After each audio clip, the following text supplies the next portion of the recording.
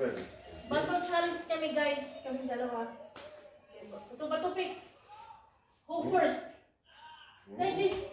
Bato, bato, bato, bato, pick. bato, bato, pick. Bato, bato. hey, win, win. No, five, five is the same. Bato, bato, pick. Ah, the same, look. The same. Bato, bato, pick.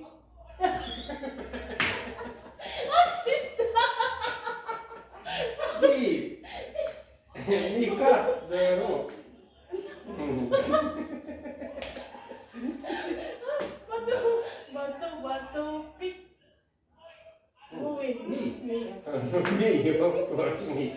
Nimbulan. But what me doing? Ah. Okay. No too much. No, no, what? One second. Me put for you, Yes. yes? One second. I put, I sit for you ready. Okay, okay. if you like. Okay. Where you like. I'm ready.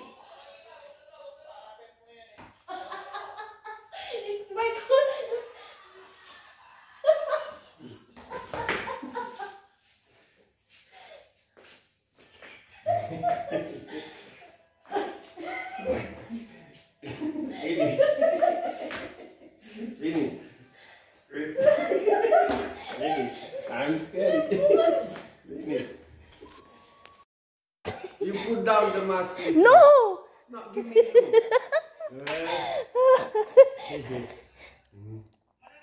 Look, Sergey. It's a good idea. Ah, play. Play this the... Huh? Play card. Instead of money, they put only the candy. So you play again. Play again, baby mo. Mm. What, this? No. Yes. Mm. Give me a look.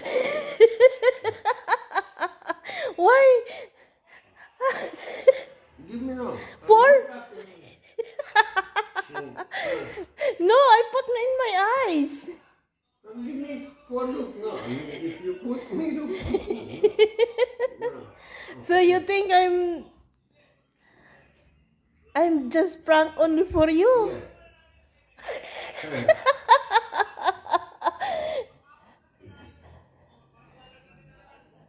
Look one more way.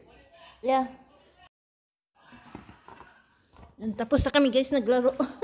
Dalawa lang kami ng asawa ko. I put this one in the garbage. See? Dalawa lang kami guys. Happy, happy. Ayan, di ba? Dalawa lang. Happy na kami guys. Dalawa ng asawa ko. Walang mga kaibigan.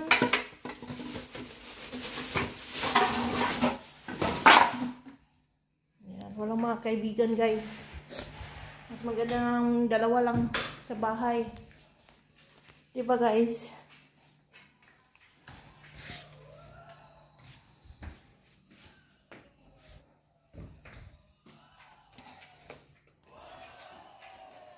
We make a...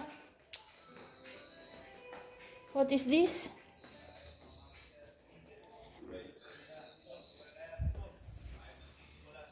Video. Ah, I forgot. Movie.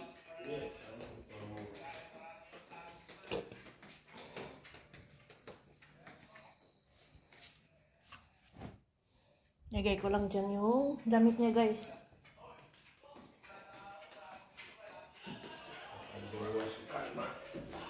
That's The mask. the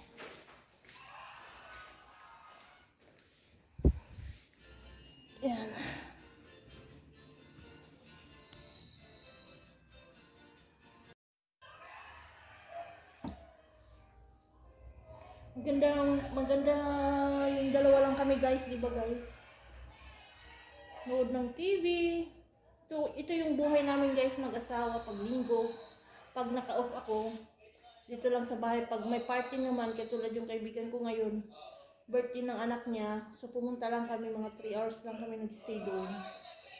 So, balik ulit sa bahay. TV, nood ng TV. Yan lang ang buhay namin guys dito. Ayaw na namin makihalubilo sa mga kaibigan, sa mga ganito, ganito, chismis. Eh, ganun pa rin, chismis pa rin, di ba guys? Kaya mas maganda ng mag ano, maganda ng mag nakasti sa bahay. Nood or yan. Katulad ngayon, na si Sir Gavin, nanonood, nanood ako ng vlog ni Sir Gavin, oh. Isa sa mga idol ko sa vlogger, si Sir Gavin, oh. Nakaka-inspire yung mga story nila.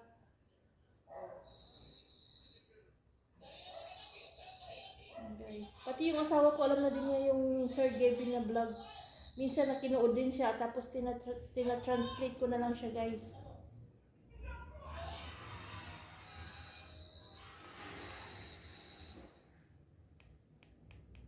Guys.